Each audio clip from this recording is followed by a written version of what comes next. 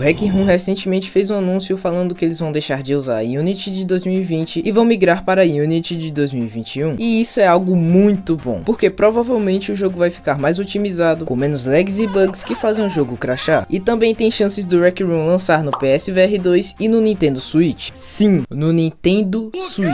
E já que eles postaram algumas coisas sobre essa mudança, vamos ler e saber mais sobre essa atualização, entre aspas. A partir de segunda, estamos mudando para Unity de 2021 em algumas plataformas. Se o seu jogo estiver iniciando com uma tela preta no PC, reinstale. Se uma tela preta foi exibida no Quest 2, reinicie o VR primeiro e reinstale o jogo para poder voltar a funcionar. Bom, e como eles mudaram para Unity de 2021, claro que eles também iriam mudar a versão da Unity do Hack Room Studio para de 2021. E com essa alteração, todos os mapas criados com a Unity de 2020 deixaram de ser acessíveis. Mas o Hack Room já resolveu o problema e todos os mapas foram para a versão da Unity de 2021. E se para você ainda parecer que um mapa criado no Hack Room Studio não está disponível no seu dispositivo, a única solução até o momento é esperar em torno de 10 minutos para que o mapa se torne disponível para jogar. Provavelmente precisando fechar o jogo e esperar os 10 minutos para depois abrir novamente. E então, essa foi a notícia. O que acharam? Eu gostei bastante, já que o jogo pode deixar de ser menos lagado. E tendo a chance do Showdown finalmente deixar de rodar 5 FPS mesmo no PC da NASA. E se você gostou desse vídeo, talvez você goste desse vídeo aqui também. Deixe o seu like e valeu, falou e fui. Tchau!